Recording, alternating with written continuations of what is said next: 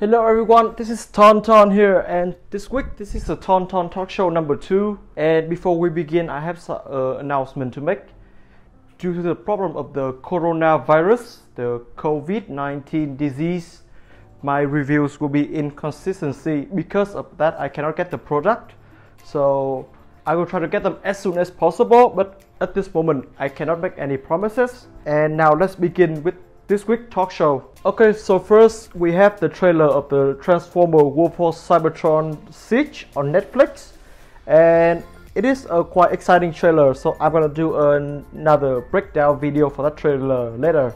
But now coming with the trailer, we also have some image of the previous model that have the uh, already exist, but then they change the color a little bit and then give it the net, net Netflix tag or something. So I'm gonna look at first is Megatron. As you can see here, this is the same Siege Megatron, but this time with more scratch to represent his look on the show. That is pretty nice. The color, everything is he's still the same, not too many difference here. But then we also have the two little guys here. They are Pinpointer and Lionizer. Lionizer is uh, basically the sword. We already have this from uh, I don't remember the name of the figure and pinpointer I don't remember having him but I think that he's already exists. So now my question is will pinpointer and lionizer will come with the Voyager Megatron? Well, that we have to see but then I hopefully that they does because if they do that will be a really nice add up to Megatron or you know like you can buy them with other figures. And one more thing that I think about why they should include Pinpointer and Lionizer is the effect part those gonna be some adapt good adapt for Megatron. I really hope that they have that with him. Otherwise, it's gonna be a doll of repaint figures, which is what I don't really like. And looking closer to Megatron here, as you can see, the chest, especially the chest, has some really good improvements, especially the scratch and the damage. It shows that during the time of the upcoming series, they've been through a long time war and everything so this may be like the final days of the war before they move to Earth. That that is when the Earthrise line come up with. So if this might be a three seasons show like with Transformer Prime, I hopefully it does because with, because with all the upcoming figures. And that's it for Megatron. Let's continue. The next one is Hound here, and um, I'm gonna say this he has nothing too much special with this uh, release. Just the same one, doesn't come with any new mini cons and anything. And to be honest, like they just changed the color a little bit, and they gave him some burns from the blaster and everything. This is nothing too special, and I'm not I'm not gonna get this for sure because it's the same figure. Like with Megatron, we have some other stuff, but then with Hound, this is a doll figure. Uh, if you haven't got Hound, so this is a uh, this is gonna be a good add up because of the color scheme. But like me and other people who already have the figures, the previous version, this is a skip for sure. Okay, so this is a stretch here.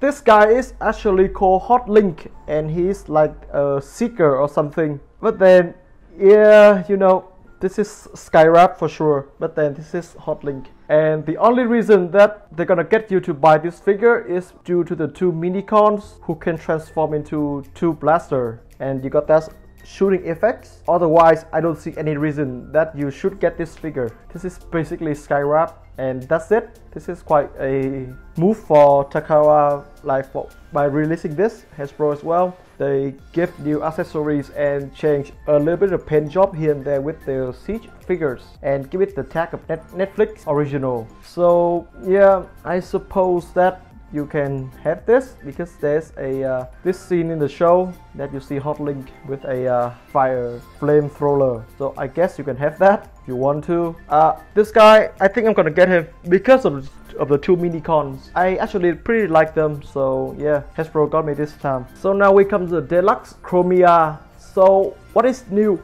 The first thing is that we have a metallic blue paint, which is nice. The gun is new, I think. I don't remember. I'm gonna check to check that in my uh, collection because I do have Chromia, and I pretty like the blue, the blue steel color theme. And we have some burn here and there on the shoulder and on the chest, which represents some like battle damage. So give the figures a realistic looks. I pretty I really enjoy that. So yeah, despite that I already have has Chromia, I'm still gonna get her because of the paint. I really love the paint here. I'm, I'm gonna bad for the paint and the battle damage. And also I think the gun is new, so i am gonna have to check that out before I actually think of getting this here or not. And now we have Sideswipe. Of course, this is a battle damage, obviously still the same figure but with battle damage effects. And now next we have Scrap Face. This again is a obvious recolor of the camera trial. What is the name of him? I don't really remember. Uh, reflector. Reflector. Okay, so just a recolor. So if gray and purple wasn't your color, then maybe blue and orange will be. Otherwise, that's it. Quite dull. Of course, you still can transform into a, a camera. Nothing too special about Scrap Face here. And of course, the last we have we have Mirage. So this time in a Decepticon color scheme. So we have the purple and gray instead of the blue and white. We also have the the Decepticon logo now instead of the Autobots. And I think the face is a little bit different with the expression. Uh, that's it.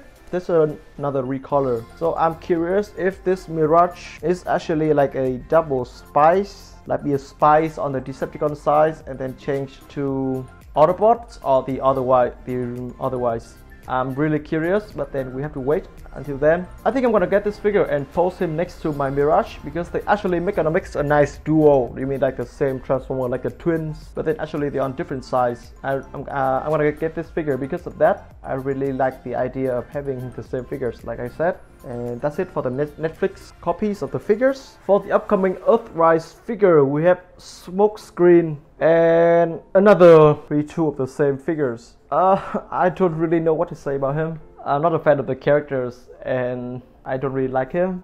But then I might be getting him for the reviews. I'm not sure yet. But maybe, you know, nothing too special about this guy. So I'm just gonna pass him. He's he's in the other smokescreen and the engineer is the same as all, all the all the other four wheels sport cars we have on the Earthrise line. Nothing too special here. And this is the figures that I really want to talk about and we have the Commander class Skylynx of the Earthrise line. How I love the design like he's a transformer but then he doesn't necessarily have to transform into a robot. Instead with this Skylynx you can have five modes of him. First, you can have the space shuttle with a carriage underneath. Then you can have the four-legged dragons, um, and that is the original Skylynx design. Uh, I really love that. Next, you got the shuttle launching base. That is a really cool feature of the uh, the, transformation. Uh, I really like that. And then you can split Skylynx in half, and then have the bird bird thingy look like. I know it's kind of odd to me because of the how look how small the leg is. But then check out that cool, that nice lion. That is a really nice add up. It is really nice. Uh, I'm gonna review. I'm gonna try to review Skylynx as soon as possible. But I mean, look at the figures. This is the one that we want, not that smoke screen. Smoke screen can go to hell now. And I really hope that I can get my hands on Skylynx soon. It would be really nice that I, if I can review him soon. And about the neck, I think that the shuttle is hollow on the inside so you can push the neck in and then pull it out. That is, that really good. And then again, you have the head, which is a really nice head. You can see some details, the teeth inside. Uh, I really love Skylynx. I think he's really cool. So it would be nice if I can review him soon. And we continue with the big guys. We do have the Titan class Scorponok uh, still the same uh, OG G1 Scorponok, but then this time you have him in a really big size and as you see there's a picture of him with Earthrise wheeljack to see how big the base form is and then so that you can think of how huge the robot mod is. I really like him, I'm gonna get him soon. He have here, of course it's a triple changer. You have the scorpion form, the base, the, the CD form, and then you have the robot form. A pretty good uh, thing that you, he's also head has a headmaster. So if you're thinking of having a big Decepticon figures on your display case, you can get him. I think I'm gonna get him. He looks pretty nice. Uh, not as impressive as Skylynx, but I'm still gonna get him because of the size. Look how big that thing is. I think he will make a great duo with Omega Supreme. Uh, of that I, I really enjoy. And we are done with the Earthrise. Now let's move to Cyberverse. At first we have the Deluxe Class Arcee. So from the looks of it, I'm pretty sure that this is the same end of toys with the Earthrise Arcee, the same uh, transformation gimmicks. Even the car modes look similar, but then she has a more cartoonish looks. And the only difference is that the car, the cable on the back cannot be removed to be displayed as a base, but they're gonna stay there permanently. Uh, I'm, I'm, I'm not sure I'm gonna get her because I don't really like the cartoonish look of her, the short former. I don't know, man. So I will have to see and wait, wait and see if I'm, I'm, gonna get her because as you all know, I do not collect Cyberverse. They're too cartoonish to me, and that's it. And continue, we have the deluxe class Grimlock. Uh, I'm not too sure. You still have the same transformation gimmicks with all the Grimlocks. That is the tail becoming the legs of the robot mode, and the leg of the robot becomes the arm, and then you fold the head, and then you release the robot head. I mean, this is too cartoonish to me. Uh, I'm not sure how I should react because uh, I always think of Grimlocks at least should be Voyager class and at least have some weapon with him but then with this Grimlock we do not have any weapons and then again it's a deluxe class so I'm not too sure of getting him and next we have Hot Rod in the deluxe class. What should I say? Now, this is the, definitely a pass. I, I, have no love for this figure. Look at the figure itself. You see a lot of hollow parts, and then the face is not really nice. The only thing that nice about the figure is the clear flame effects. They are good, but then again, no love, no future, nothing for the hot rod. No, this color scheme is too much for me. I don't like that bright red. But then this one is interesting. We have Deluxe Thunder Howl. He is transformed into a beast, and we can see obviously see like he stand in four feet and then flip the head up and then you have a beast mode the shield tucks in the back but then again um this guy is interesting because i do also build gundams and then i really appreciate the facts that transformer figure have both sword and shields. And he also comes with a, a blowing effect. So I might getting him as my first Cyberverse figures because I do like accessories and the proportion of him. So like no over engineering but just simple transformation and you get good accessories so why not? And then we also have the battle core officer class so i think this is like a new line of figures that hasbro introduced to us. And with this bumblebee what you're getting is a shield that can obviously split in half and reveals a blade and some other clear blue effect. I don't know where they're coming from but i'm curious is that he gonna have both of the features? Like we also have the sword and then the chest plate armor or not? Because this one reminds me of robot in disguise guys that they actually have that clear blue armor thingy.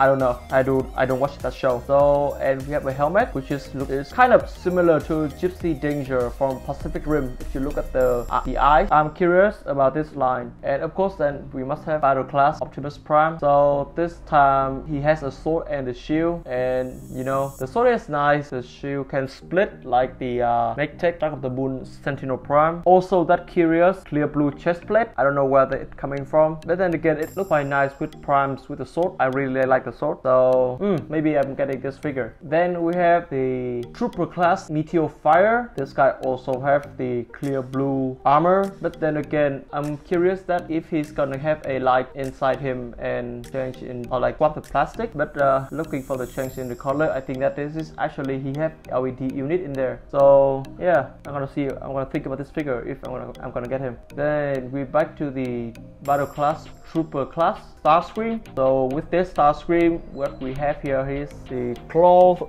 looks of him and then we have the uh, chest and helmet armor. But then again it is in clear green now and with the red on it I don't know man. And of course with the tail section. You can see in the robot mode. It's kind of like he's, he looks like a scorpion. I don't know. This is really strange to me. Now to Megatron this is interesting because he also have the clear clear weapons everything. And this time he holds a scythe and the armors is also green clear green.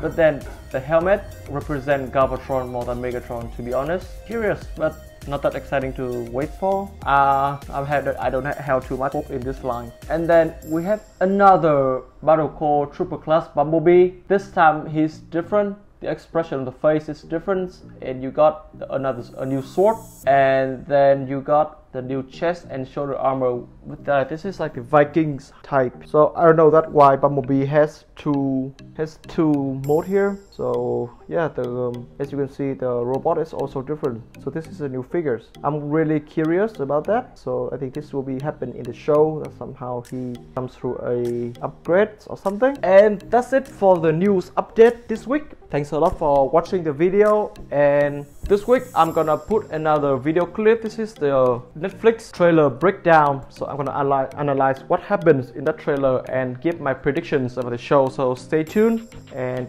uh, and otherwise thanks for watching and I will be seeing you next week in the number 3 talk show. Again subscribe to my YouTube channel for new update and, and follow me on Instagram. Thanks guys. I'm out. See you next week.